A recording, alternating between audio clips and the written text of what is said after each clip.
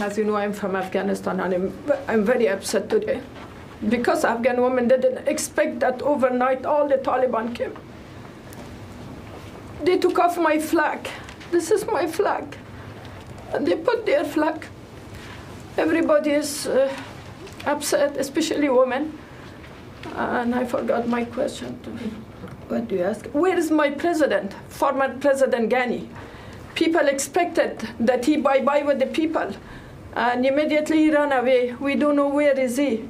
And we don't have a president. President Biden said that President Ghani, no, he has to fight uh, uh, for us people. They have to uh, do everything, and we were able to uh, financially help them. But we don't have any president. We don't have anything. Afghan people, they don't know what to do. A woman has a lot of achievement in Afghanistan. I had a lot of achievement. I, I left from the Taliban like 20 years ago. Now we go back to the first step again. Do you have any comment? Where is our president, Ghani? He should answer to Afghan people.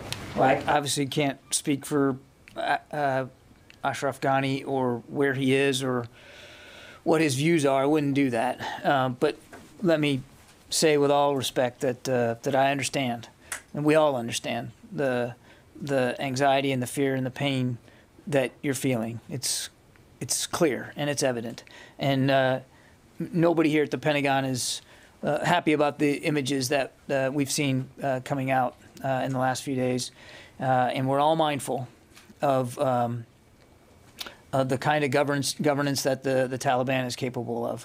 Um, so you know, heart, heartfelt uh, respect to, to what you're going through, and and we we understand that. Um, a lot of us have spent time in Afghanistan. The general mentioned that um, everything that you're seeing in the last 48, 72 hours is personal for everybody here at the Pentagon.